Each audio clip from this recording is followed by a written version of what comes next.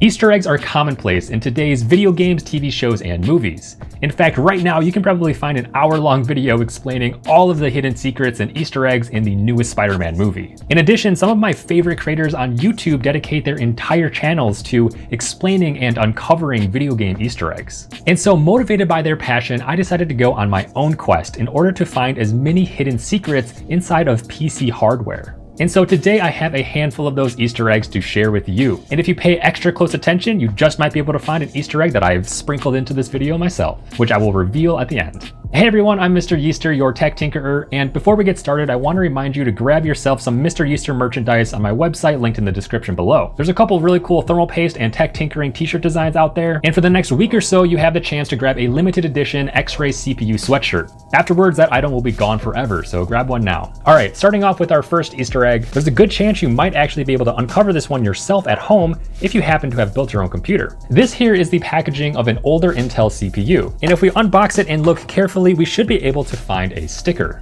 Now there's a good chance that if you have an Intel powered laptop that you can find one of these stickers on it as well. Now if we peel off this sticker and flip it around, we can reveal this awesome holographic pattern, which by itself is really cool. But what's even cooler is that the design actually mimics the processor's internal architecture. Processors are composed of millions of microscopic transistors carved into various layers of semiconductor material like silicon. And the various channels and components that are etched into the chip itself look a lot like this sticker. So the fact that the sticker actually resembles this architecture is a really cool hidden secret that Intel definitely didn't have to do.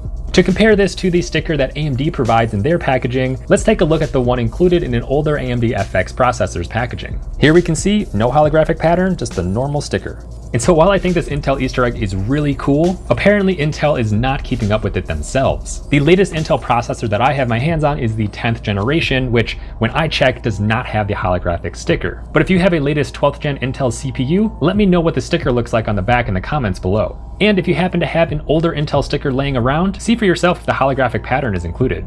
Up next is an Easter egg hidden inside of a joystick, specifically inside of the Microsoft Sidewinder Precision Pro, which was a USB joystick released way back in 1995. Now some cool things about this old school joystick was that it was actually one of the first of its kind to use light sensors instead of potentiometers. This meant that it didn't require any additional calibration which a lot of the other joysticks at the time needed. But as a downside, spinning the joystick actually built up a bunch of static electricity which made for some really interesting electrical problems. Now if you happen to take your joystick and flip it over to reveal the anti-slip cover, remove that as well as the few sets of screws underneath it, you can find this plastic plate that has a bunch of engraved signatures on it. And this Easter egg is really cool because the designers of the joystick literally left their mark. That's right, these signatures represent each designer that worked on the joystick, and seeing their names actually molded into the plastic is a really cool touch. If anyone happens to know someone whose signature is on this joystick, please send me an email because I would love to hear their story about it. All right, our next Easter egg requires us to stay in the past, this time around 1989. That's the year that AMD, that's right, the same company that is currently making Ryzen and Radeon components, developed this tiny guy right here, which at first glance kind of reminds me of the Sentinels from the Matrix.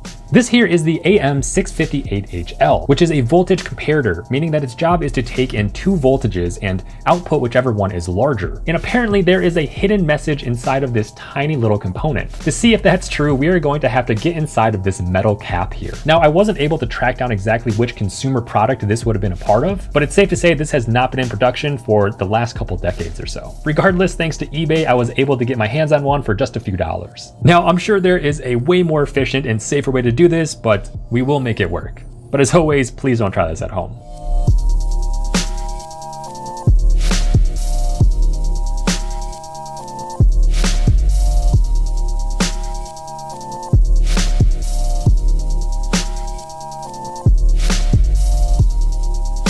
Now that we have access inside of the metal cap, we can take a very close look to see an integrated circuit that houses the actual comparison logic. Believe it or not, that tiny integrated circuit is actually where the hidden message is written. And while it is completely invisible to the human eye, it does not become any more clear by zooming in with our camera. So we're gonna have to break out our high-powered microscope to take a closer look. Thankfully, we have one of those. So by powering on our microscope and moving over the integrated circuit, the hidden Easter egg is revealed. Take a look at that. That is a tiny smiley face as well as an AMD logo greeting anybody who happens to stumble upon them. The scale of this is honestly insane. This is so small, it's kind of hard to comprehend. But still, clear as day, this Easter egg is smiling right back at us.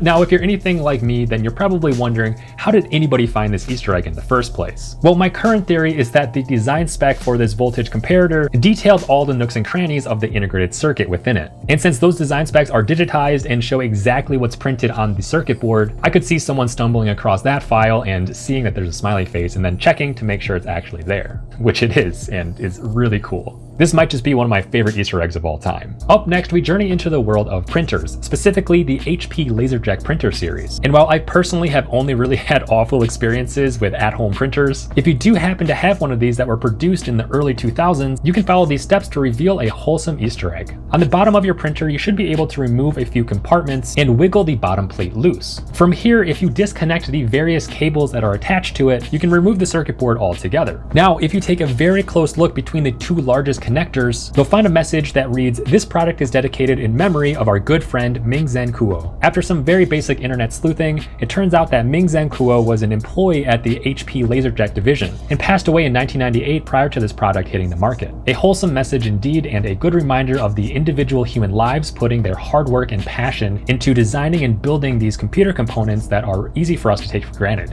And finally, the last Easter egg I have for you today is arguably not a computer component, but I think it's really cool nonetheless.